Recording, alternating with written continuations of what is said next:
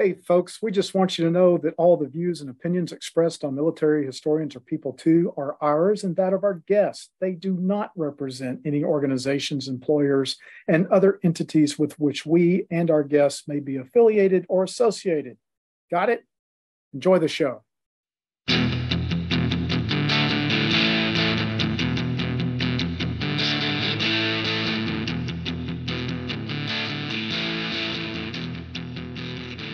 Welcome, everybody, to another episode of Military Historians are People Too. I'm Bill, and that is Brian. Say hey, Brian. Hello, everyone. Again, he's so excited, man. It's spring break, man. You need. it is. It's spring break. I should be more excited. Yeah, but uh, I got a surprise last night. My wife reminded me that our children uh, actually are out of school today because of a teacher work day. So, uh, so they're home. So when I go home, I'll I'll get spend some quality time with with the kids. Oh, so that's why you're so down. I got no, it. I'm not down. You know, I'm good. I'm not, and and the oldest one has a tennis match this afternoon, so that'll be uh, oh, okay. That'll be good. Yeah. So good I'm, I'm, I'm wearing the team colors today. Yeah, you got your got your your Statesboro. Is it is Statesboro High with her? Statesboro or? High Blue Devils. Yeah. Yeah, the Blue Devils. Wow, good for her. She's done yeah. well. She's doing well. Yeah. We have a very special guest uh, from from the UK uh, join us today uh, Martin Thomas, the University of Exeter, who Brian will interview here shortly. Uh, a couple of shout outs. One to university presses. Uh, we try to remember to, to, remind everybody to support university presses wherever you're at, uh, especially our friends out in Lawrence and Kansas. Hello to everybody at the ranch. Oh, I've got a I've got a, a special announcement. Special announcement, Brian. Our podcast, Military Historians People Too, is going to have a Zazzle merch store. Yeah we we are going commercial with some swag, and it's the most gaudy, uh, awful, poorly designed stuff you can imagine. But check it out. We'll post the uh, the uh, website on Twitter, and we'll put it on the pod descriptions.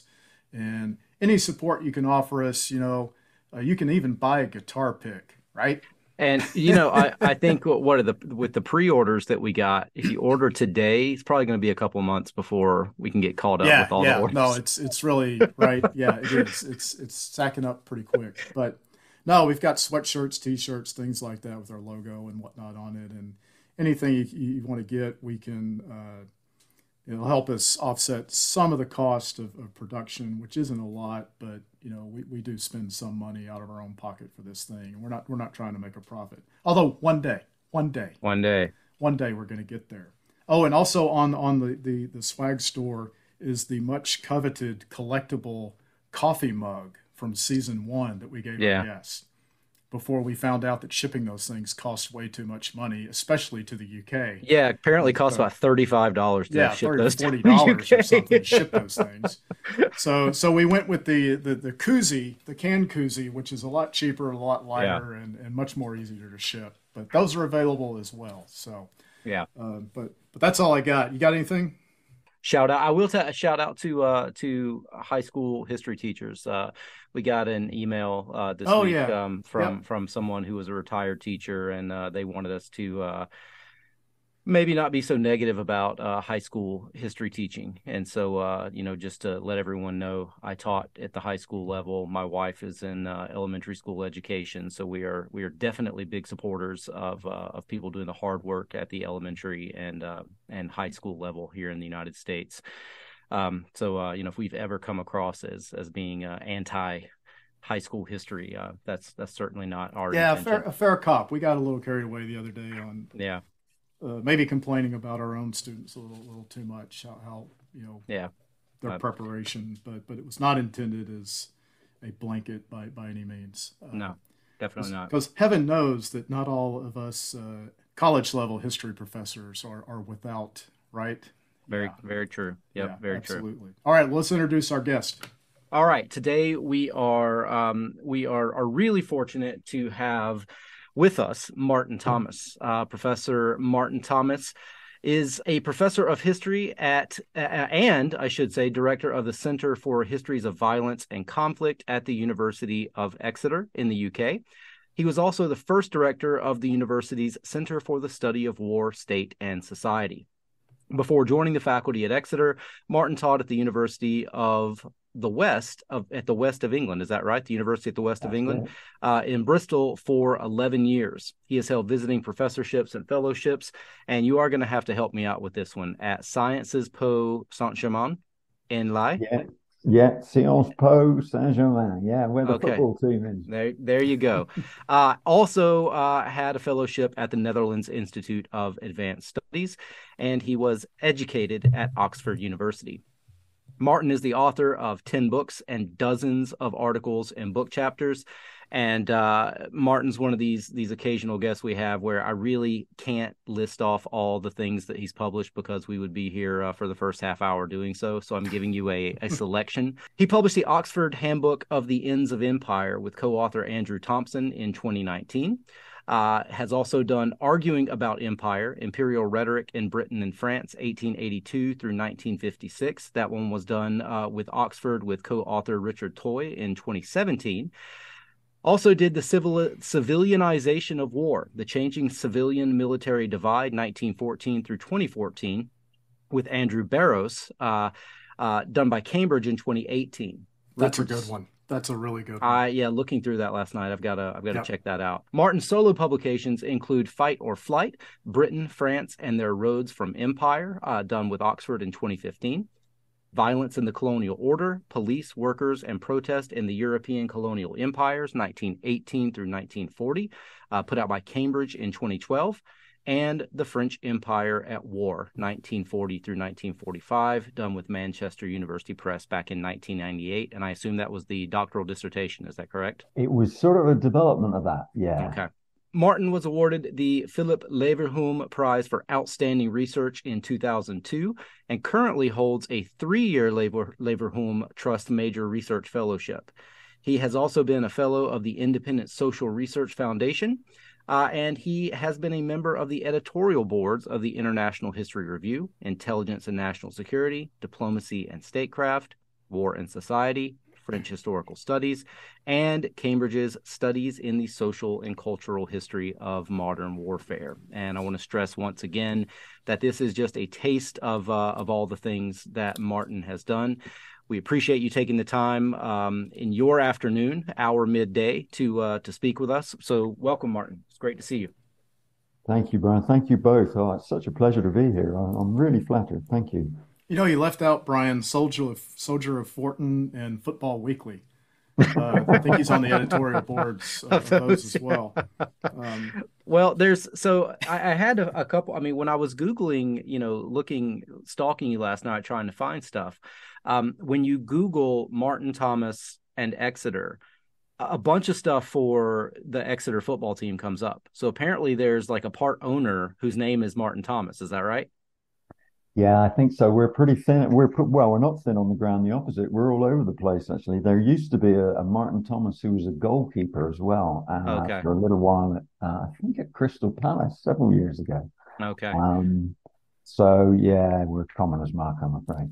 Yeah, there there's not aren't too many Brian Feltmans floating around in the world, so, so it's hard to uh, to mistake me with anyone else. Although, interesting fact, um, the reason I started using the K, uh, Brian K. Feltman, is that uh, in the state of Georgia where I live, there is another Brian Feltman, and he is a convicted murderer. He murdered his uh, his wife, and so uh, if you Google Brian Feltman, Georgia, he is usually the first one that comes up. That's not me. right. Yeah, not me. so, all right, Martin. Um, tell us where you're from. Uh, you know, what did your parents do? What kind of house did you grow up in? And uh, how did you how did you get into history? And then specifically, um, you know, what was it about French history that pulled you in? Wow, that's a, those are foundational questions, aren't they? Yeah, Brian? that's that's what we do. yeah. Well, uh, I'm I'm from Cornwall, so uh, I'm from the sort of the deep south of the UK, really, I guess. And uh, yeah, I grew up by the sea, um, and my folks were uh, teachers. Really, my father was a, a history and then a politics teacher, uh, and my mum was really a French teacher, although she uh, uh-huh. she didn't teach French all the time. Um, and uh, yeah, I had a, a, a, pretty nice time, really. so, what what town? What town? Uh, I'm from Fowey, which is on the south coast of Cornwall. Yeah, yeah, okay. Uh, yeah, I've watched enough Escape to Escape to the Country. I know where these places. yeah. Um, yeah, I suppose in terms of becoming a history person, that was sort of in part by design, but substantially accidental, really. Why why history? Well, I guess I uh, I was just uh, attracted to it, and there was a lot of it in the air when I was growing up. We would often go to France, and uh, we had a lot of French friends with whom we'd stay, who were were absolutely lovely. And I can remember as a kid um, being taken uh, to a farm owned by um, one family, the, the Martignon near Montluçon. And uh, the matriarch of the family said, uh, I hear you're, uh, you're into your history. And said, Would you like some of these? At which point she went to uh, the kitchen and produced several Mills grenades, oh. which she kept in a, in a kitchen cupboard. And she'd been involved in the resistance and uh, had kept this sort of stash for the past kind of 50 years at that point. Wow. Um, at which point, my father got a little bit concerned and said, oh, Well, thanks very much, but maybe at age nine, we'll pass on that one. uh, which was probably a good idea. But uh, yeah, that stuck in the mind. But um, yeah, I kind of gravitated originally towards French history, I suppose, because uh, I spent a little while in France as a, as a kid, and mum spoke French, and you know, got into French that way. Uh, and increasingly, I found myself being drawn ever further southwards towards the francophone world, towards yeah. French Africa and Algeria, I suppose, primarily. Um, and so my route into that originally was a, a PhD, which um, I'd sort of arrived at almost accidentally. I'd been in Greece, not really knowing what to do, uh, teaching English, and had come back to uh, investigate the possibilities of doing a PhD.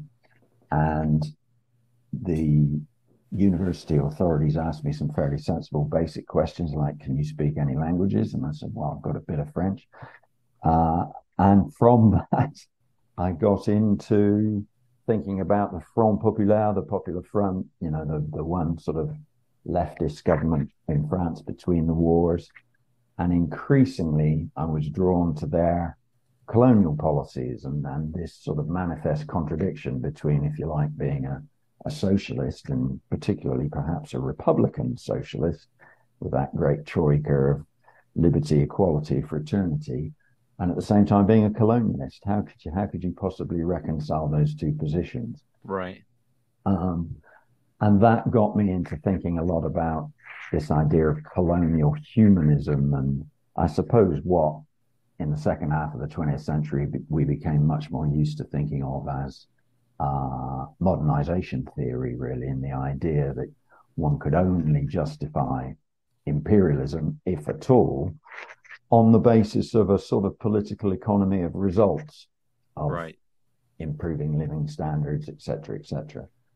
Terribly Western centric, terribly sort of universalistic in, in its conception, but to a degree reconcilable with with socialist ideas. And so I think that's that's what I got into, and that took me down the road of, of empire, which I've never got off really. Um, so, uh, mom had to be fairly happy that you ended up doing French history, right? She felt like uh, some of the experiences as a child had had really shaped who you became. Uh, that's a nice thought. Yeah, yeah, I guess. I don't know really. Uh, I mean, yeah, that, my, my, parents were absolutely lovely, but uh, they were quite understated, really. but yeah, I think she was pretty happy. Yeah. Good, good deal.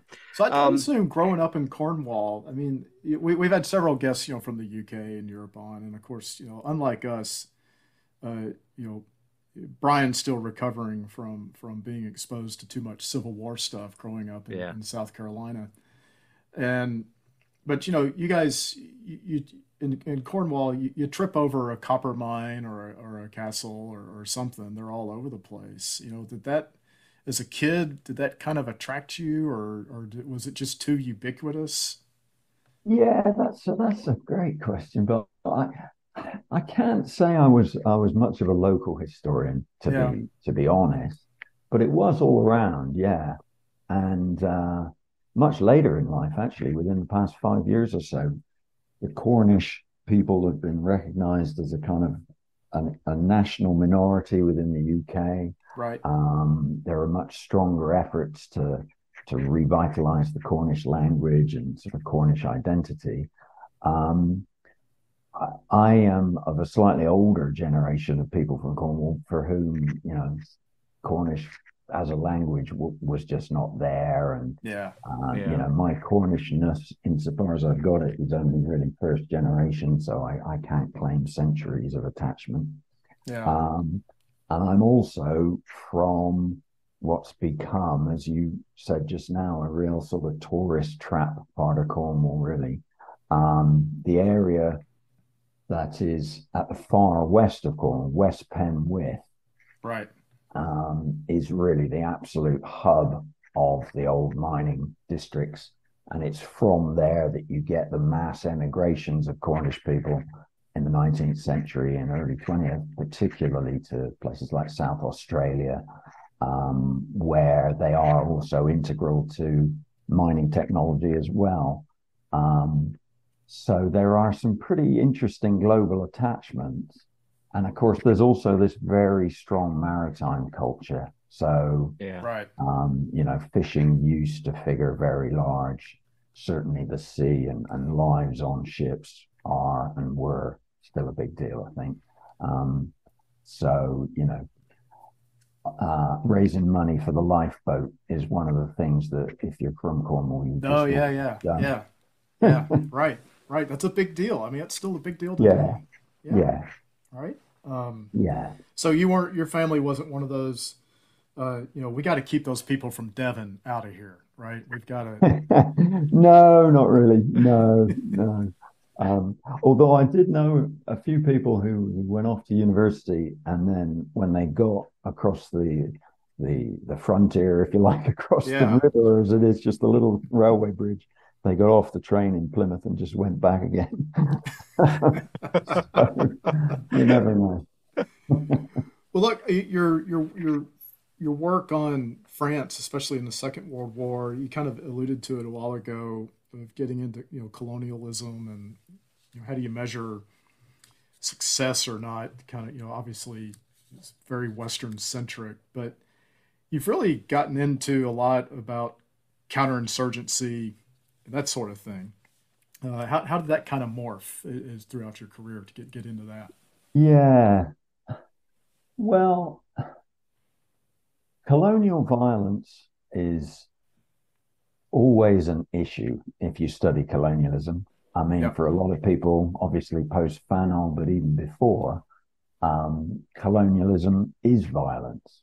And um, the growth of post colonial theory and ideas of structural violence and cultural violence have really sort of made that almost a kind of received wisdom. Um, i am drawn by some of that literature, but to me, uh, there's, there's a different kind of contradiction that's always interested me, really, which is that empires are pretty flimsy in a lot of ways. And the bigger they become, the more flimsy they become they're quite rickety structures. They're very thinly administered. Um, and of course, you know, one is generalizing massively. But the issue with empires and violence, it seems to me, is what happens when they turn up. Because for an awful lot of the time, colonial administration, the face, if you like, of, of colonial governance and colonial racism is implicit in the structures of a society, the way land is distributed, the way wealth is distributed, the way job opportunities play out, freedom of movement, and all the rest of it. But the actual presence of somebody or a group that can coerce another group into doing what they want is often um, only expressed intermittently. In other words, it's when the tax collectors show up. And right. They typically yeah. show up with people with weapons. With weapons, yeah. Um, it's when uh, title to land is disputed and some sort of Western style property ownership is coercively right. introduced that right. effectively dispossesses the great majority almost overnight. These are the things that it seems to me are the real building blocks of colonial violence.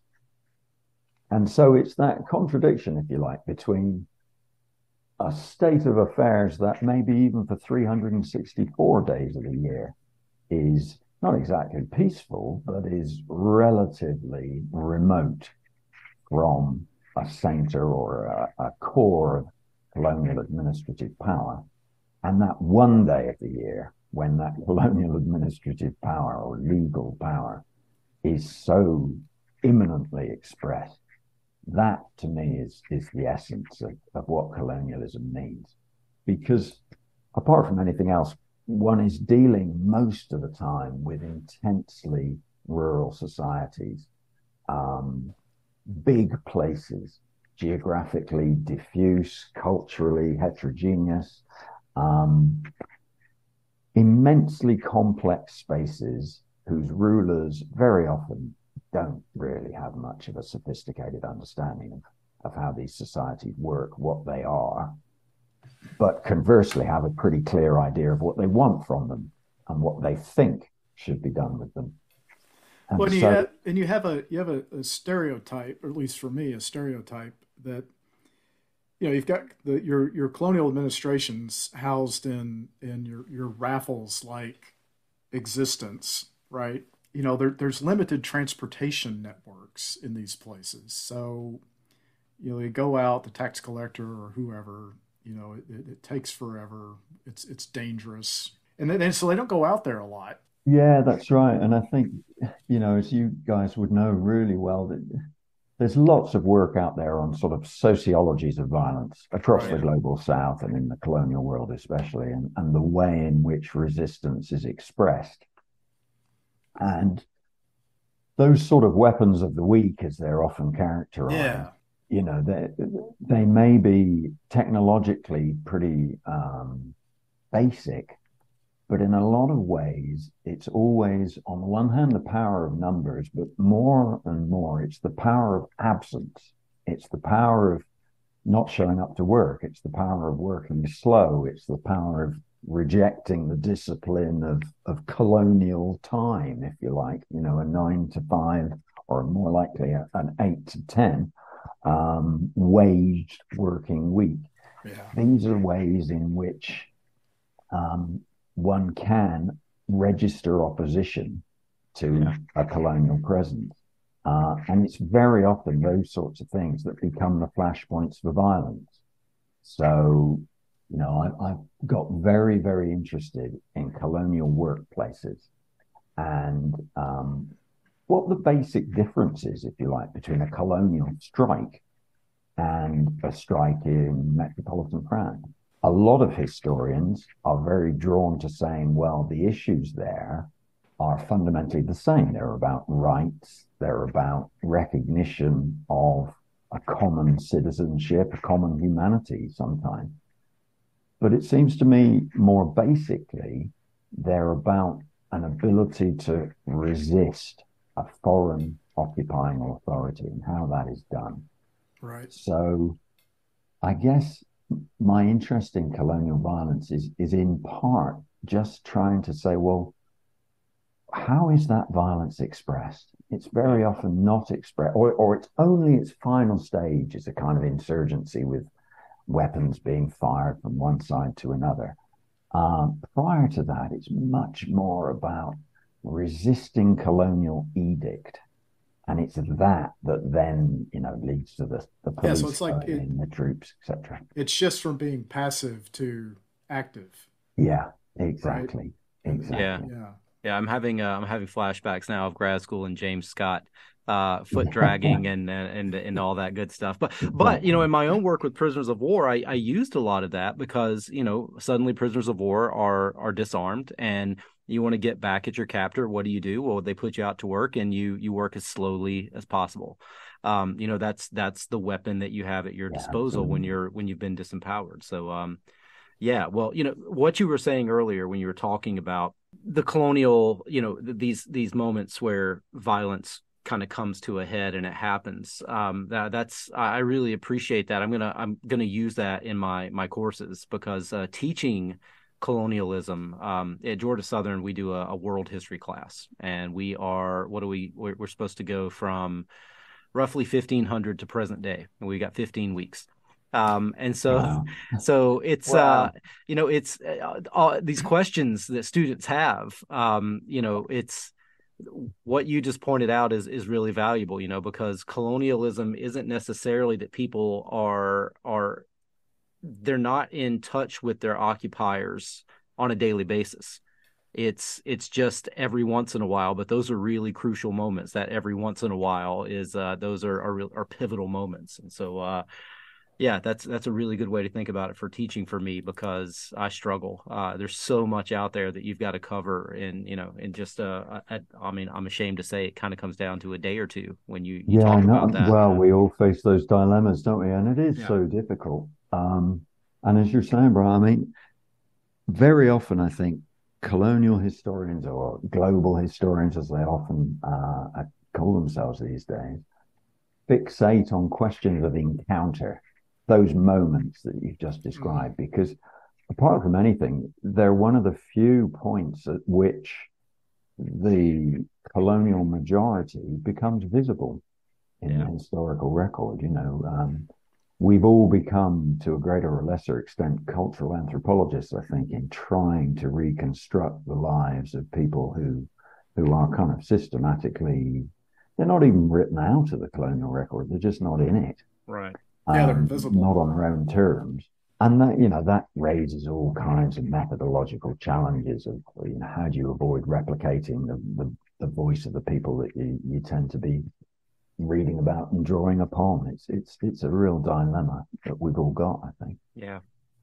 I find, you know, with my my students who don't have uh, foreign language skills, really, it's it's challenging to find voices, um, you know, of of I mean, there are African voices, uh, you know, there's Chinua Achebe, there's stuff like that. But outside of that, it's hard to find accessible um, you know voices for students other than than the European voices. I mean, it's uh, you know there's uh, uh, you know better than anyone. Um, you know, there's there's definitely room for those translations uh, so that they can they can be given to American students who who aren't going to be able to read it in anything but English.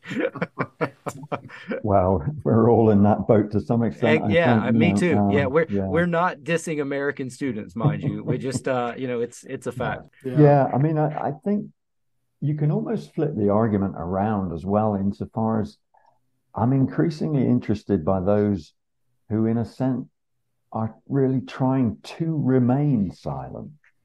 Because it, in these sort of societies, and in, particularly in situations when there's an active conflict going on, you don't want to speak up. You don't want to be noticed. You don't yeah. want to be seen to be taking sides because that is a very dangerous proposition. And so, how do you, in a sense, account historically for the, if you like, the silent middle, the people who, um, if you like, are pursuing a survival strategy that is predicated on saying what their listener in authority, whether that be a counterinsurgent or an insurgent, whether it be a, a colonial administrator or a village uh, headman, um, predicated on doing what they want to hear. So you will say utterly contradictory things. You will demonstrate different allegiances, multiple identities within the space of 24 hours. Yeah. Um, and one can find evidence of that. But does that really tell us what these people thought? You know, aren't they playing a kind of sophisticated game of survival? I was just say, Martin, that sounds like my approach to surviving our history department. Um, it's how you get through a department meeting, right? That's right. Exactly. exactly. Well, look, let's take our little our little fake break, Brian. Okay, we'll do it.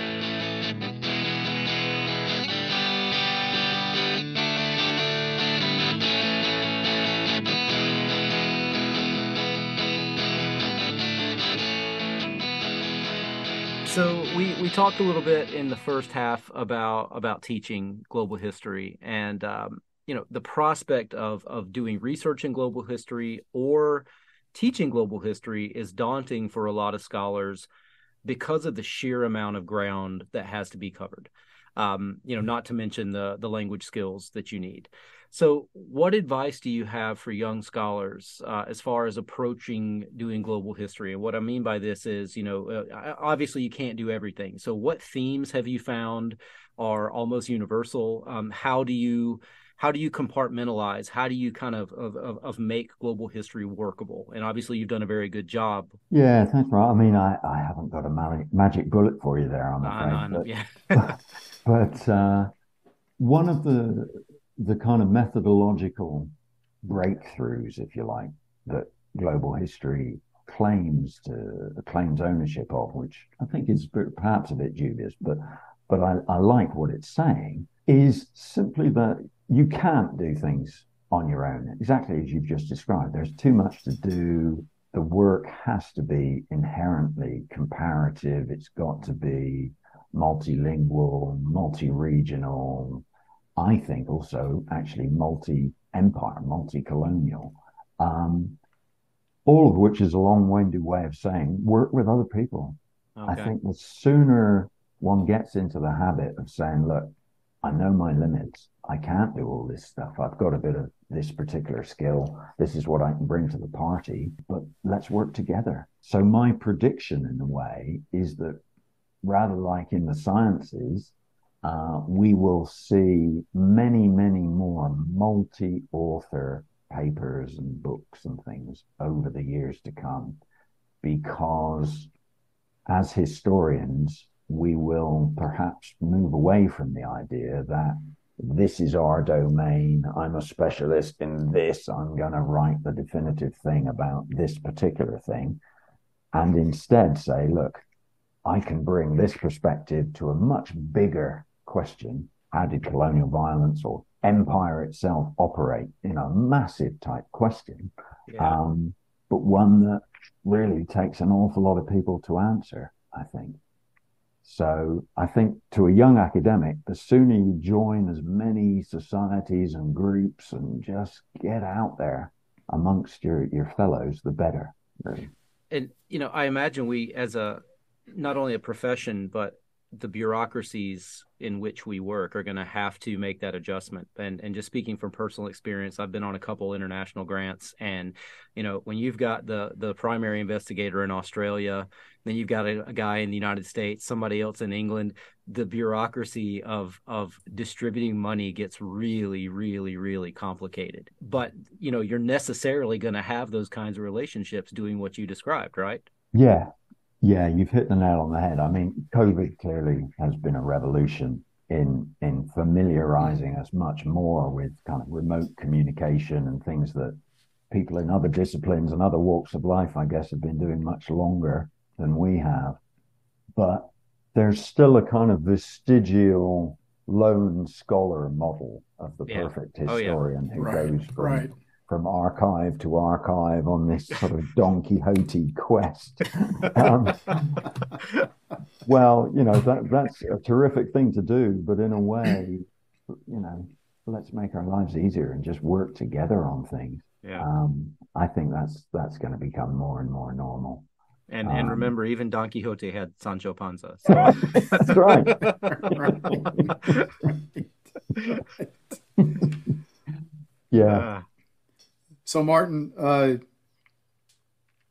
we felt like we should ask you about Ukraine. I mean, a, a little bit. Mm. I, I think you might might have some insights to share because of you know what what you study. I mean, you, you do a lot with counterinsurgency, asymmetric warfare. You know, of course, you know human rights, and you know we've got this conflict going on uh, now for over a year, and I don't know what's What's what's your take on it from that that perspective? Well, I mean, I'd, I'd preface any comments by you know um, just lamenting the sheer tragedy and, and the, the, the, appalling nature of this conflict and, and, the way it was started.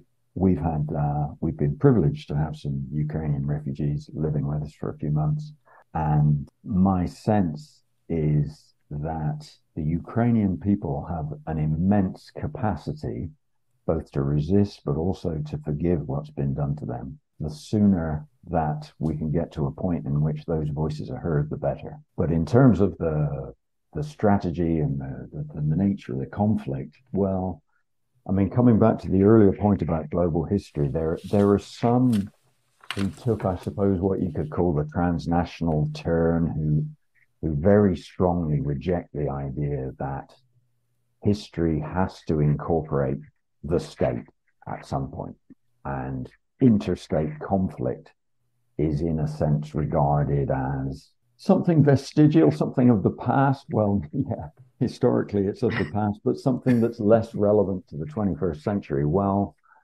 Ukraine has rather exploded that. I was just like, guess um, what? Yeah. Yeah. Yeah. Um, here is an interstate conflict uh, that's pitched two very different states and two very different societies and two very different civil societies against one another.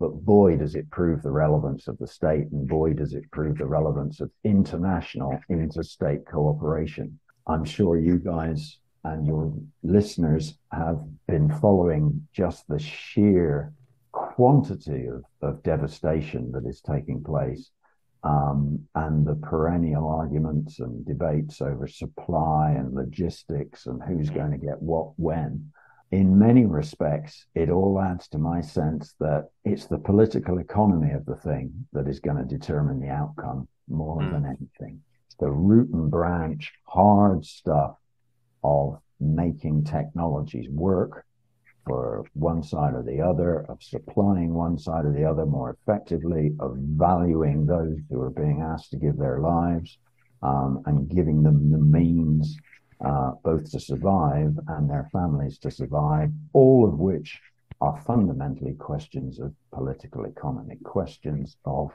basic human supply and human need being satisfied.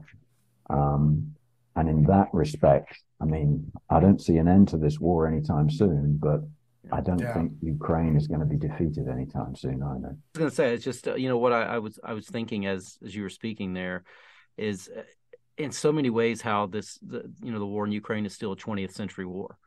It's uh yeah. you know it's uh, it's despite all of the predictions about how war was going to be fought in the future. Um, yeah. This is it's still a 20th century war in in most of the important ways.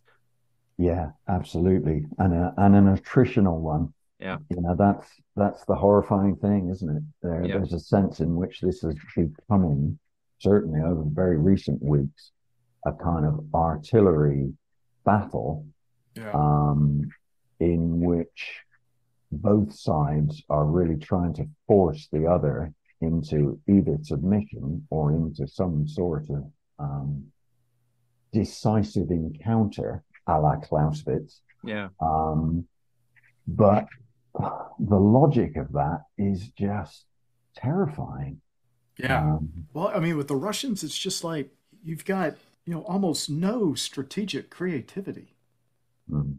or operational creativity. It seems it's just bludgeon. It, you yeah. know, just feed feed whatever they've got. You know, be they prisoners or contractors or conscript conscripts, just feed them into this meat grinder. Yeah, I mean, the power of dissenting voices at some sort at some point, I hope, yeah. will make themselves felt. Uh, yeah. And I'm sure there are countless Russian people who are just appalled by oh, yeah. what is being done in their name. Absolutely. Um, but until they get an opportunity to really express that, I can't see this thing coming to an end. Yeah. Wow. Well, on, on that happy note. yeah. yeah. Sorry. no, no, no. We asked the question because we knew you'd, you'd have a, an interesting yeah. take on it. We, we appreciate appreciate that. Shall we get to some rapid fire? Let's do rapid fire. All right, because I know I know that's why he's here. This is what yeah, that's all he cared it. about. Yeah. yeah, this is all he cared about. I, I want to be on that rapid fire thing. Okay, Martin, you've, you've listened to a, few of these. Mm. Uh, we'll ask you a series of questions and give us your best answer as quick as you can. And, and remember that this is wow. our show, so we reserve the right to comment and judge. Yeah. I'm feeling under pressure. that's right. That's right. So, Brian, go. All right. What are you reading for pleasure? Ah, now, well, the, the, do you want the honest answer? Yeah, not absolutely. A great, not a yeah, great. honest answer first, then you can make something yeah. up later. The the slightly dishonest answer is that I have Bertolt Brecht's threepenny novel looking at me accusingly on my desk, which I've been meaning to read for a very long time. But to say I'm reading it for pleasure is stretching reality. All right, that counts. That counts. Um, what about the best history book that you've read recently? Oh, that's a good one. Um, well, the most recent book that's made a huge impact on me, I mentioned to Brian a little while, uh, sorry, to Bill a little while ago, which is um, Salar Mohandesi's book called Red Internationalism, which has just come out, um, which is about kind of radical anti-war opposition to the Vietnam War mm-hmm. uh, and kind of multilateral efforts to coordinate opposition to Vietnam in, in France and America and within Vietnam itself. That's made quite a big impression on me. Um, I also read a very different book quite recently that I think is just tremendous by a, a historian called Alexander Morrison, and it's called The Russian Conquest of Central Asia. Um, a, a, great deal of which is about camels and how camels do or don't survive in the winter. Really? yeah, the logistics of uh, camels. Um, but it's a tremendous book, a really, really superb. Okay, yeah, that sounds very, very interesting. You know, I'm always looking for stuff for my students because I'm always hammering logistics in my military history course. I just, you know, and, and of course, it's just the most unsexy thing to talk about because that's not what they expect. So I'm always looking for something that can grab them you know, on and something like that actually might yeah. Camels is yeah, one of those things. Yeah, I really recommend it. Um, yeah. It's also one of those books where you're so glad there are multiple maps in it because uh, forever going, or I'm forever going back and saying, oh, where's this plane? right. Right. Okay. You get to listen to one band or singer for the rest of your life. Who is it? A lot of candor. I think that have to be Little Feat, you know. Little Feat. Wow. Yeah. Wow. Mm. Early, okay, well, our... low Little Feat. Yeah, Lowell era Little Feat. Yeah. Yeah. Yeah. I mean, there are lots that's... of candidates, but oh, I do love Little Feat. Ah, okay, I like it. That is our first uh, Little Feat answer. Yeah. oh, yeah. Right. yeah. Yeah. I'll tell you what, we've we've had a big swing from Billy Joel to Little Feat. Yeah. on the show.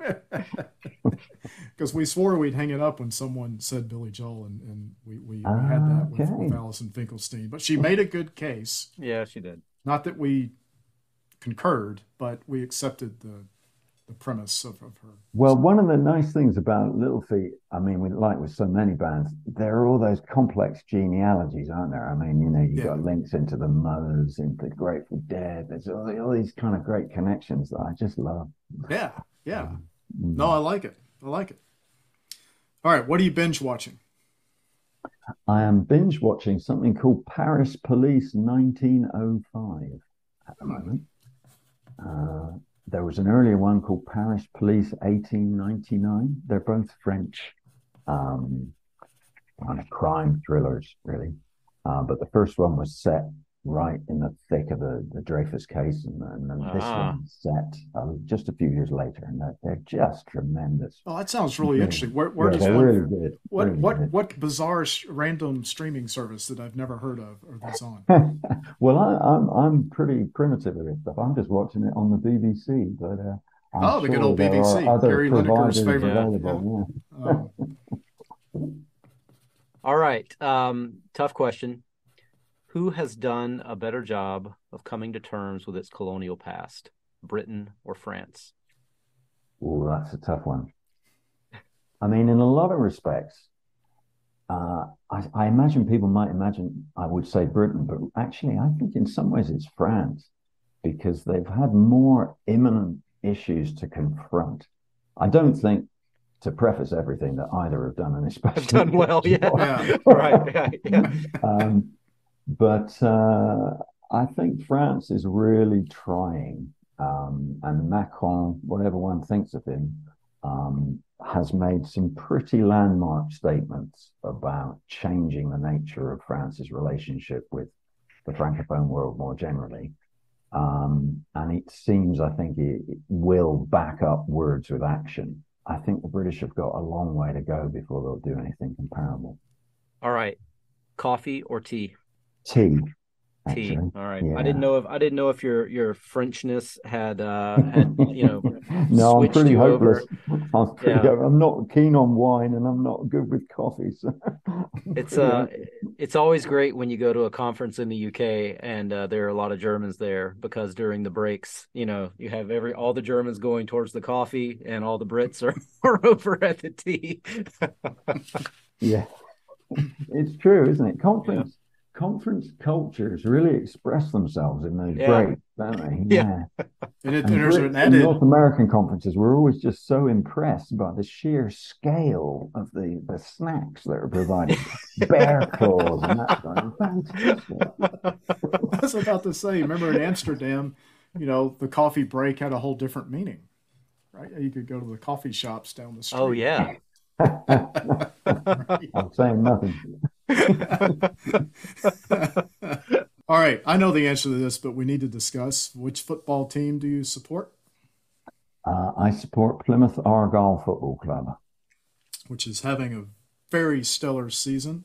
Right, number two in the table. Well, number two in the table. Bit of a disaster 48 hours ago at Barnsley. We got yeah, that was a little weird. Back to attritional warfare. About a month ago, we played another a, a, team that's actually much bigger than us historically in the table called Bolton Wanderers on the edge mm-hmm. of Manchester, um, and came away with a nil-nil draw away, which we were quite pleased about. But in the course of that, our keeper picked up a bad knee injury, uh, and right. our emblematic uh, centre back Dan Scarr got uh, injured as well.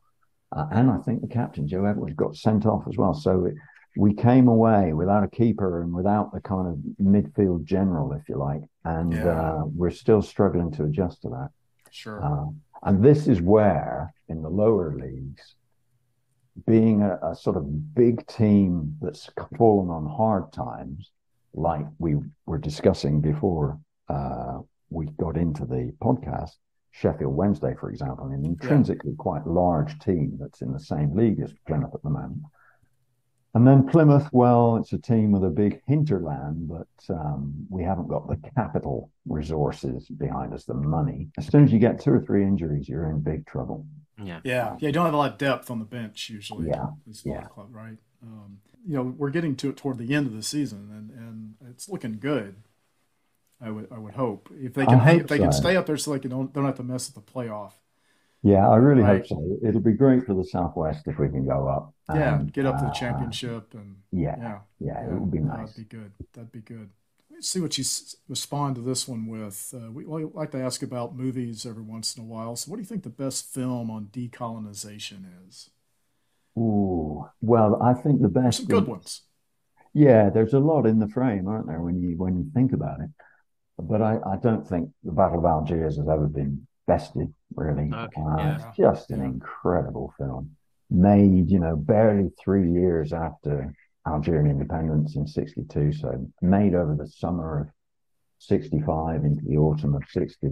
Right. Uh, sorry, into the new year of 66. And that kind of false but very believable documentary style and some of the actual participants in the war in the film itself, Yacef Saadi most famously, Yep. Um, it's just an incredible film and avoids the obvious, you know, avoids sort of demonizing the French. It's, yeah. it's, it's much more effective in a way for for being not understated but measured in some ways. I think it's mm.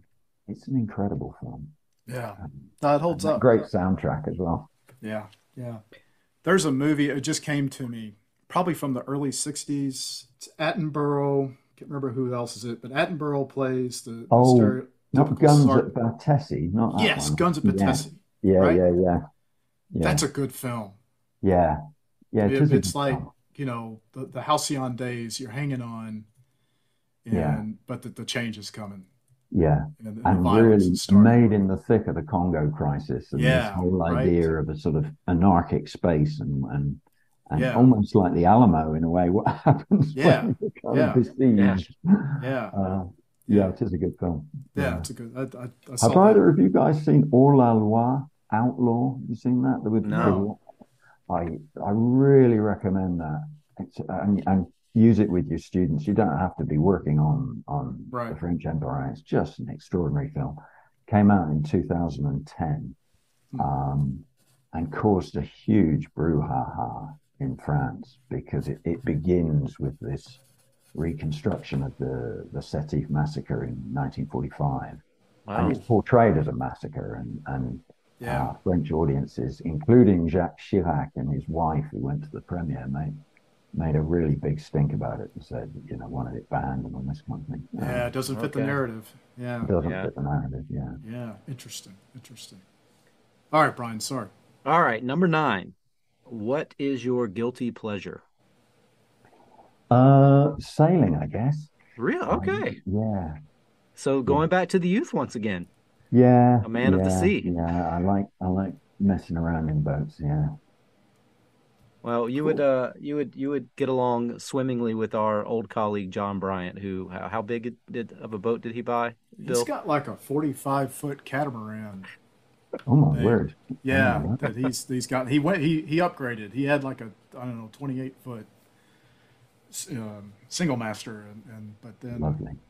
uh, Yeah. yeah, he's Yeah, I like anything that floats really, but uh, yeah, I tend to sort of go around in little things that that try and kick me out of them, you know, capsize me all the time. yeah, yeah, yeah. I love I bet that's relaxing too. Good, let Yeah. you check out, right?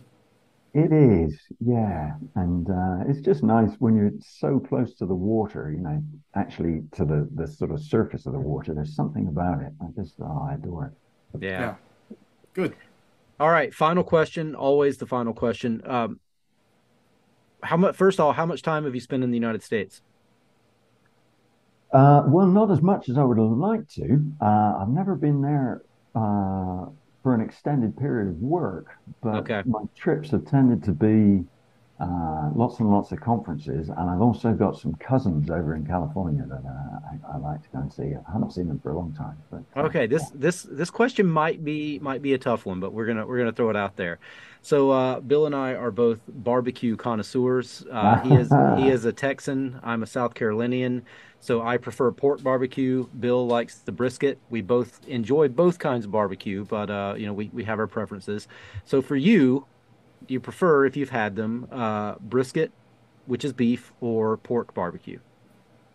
oh my word, I'm afraid I'm I, I'm out of my depth here. Yeah, but that's that's I'd okay. prob- That's okay. I'd It's uh, probably head towards the beef.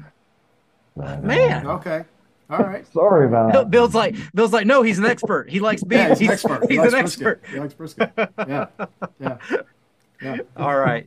Do uh Fair does- enough. Do- are there are there any restaurants around you in the UK that even attempt to do barbecue? No, Okay. no, Because it has I a am. different meaning there, right? Yeah. I mean, it, Yeah. Unless you barbecue a pasty. No, no, we're we're pretty uh we're pretty rudimentary in that field, I think. Okay. yeah. Well, Bill, if we ever want to, you know, find a way to live in Europe, I think we could open a barbecue place because it's one thing I've Yeah, noticed in Germany too. in the Their, yeah, their Yeah. attempts at barbecue are, are are not very good. So if we ever need to get a visa, work visa, uh, you know, we could justifiably say that we are Yeah. offering a service that is not available. You know, it's the same with Tex-Mex too. It's the same with, with Tex-Mex because I remember in London, the, the, the, the, the Texas embassy, two guys from Dallas who did business in London a lot. They, they opened up a, Tex a Tex-Mex restaurant in London, and it did really well for a long time. But uh, but I don't think it survived COVID. It may have shut down before that. Yeah. Um, I tell you, you've got some willing customers here. We we're just waiting to be educated, I think. yeah, you got All a good right. curry place near you though, right? Got We've got a few of those. Yeah, Yeah, we've good. got a few of them. Yeah. That's and the one thing you've got on everybody else. I mean, Yeah. boy, just yeah, good stuff. But well, Martin, hey, thanks for for taking the time. This was really delightful. Thank you. Enjoyed Thank it you so much. tremendously. Appreciate your your your your take on all these things, especially the Ukrainian deal. Uh, yeah. But yeah. this was this was good and continued continued good success to to Plymouth Argyle. Uh, well, thanks, and to all your teams, Forest Thank Green and, and, all the Bundesliga teams as well. Yeah, I'm, yeah. I'm, a, I'm a Bayern München guy. Um, oh, are you? Yeah, I mean, I making a bid for Harry Kane. I see. Yeah, yeah. I uh, I I learned German in Bavaria, so that's my my claim to why I'm allowed to like them. So, uh, but uh, do you ever run into uh, my my friend uh, Matthias Reiss? Um, at Exeter. I do. Okay. Yes, of well, course. Yeah, well, yeah. Uh, we we co-edited a volume together, uh, so please tell Matthias that Brian said hello. I will indeed. All right. Yeah. Yeah. Great. All right. Thank you. Well, look, no, man. Thank thanks. You, we appreciate look it. It's good to see you. Yeah. yeah hope to too. see you soon sometime. Cheers, guys.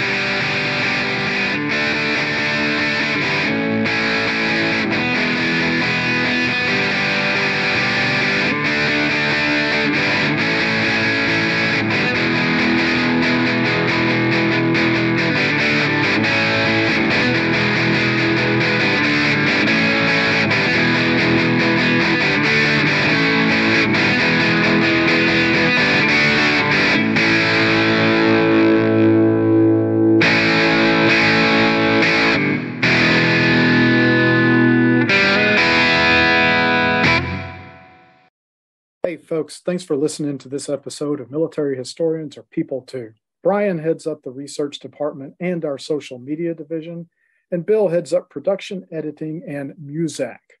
We're not monetized, and we depend upon you, dear listener, to help us spread the word about this podcast.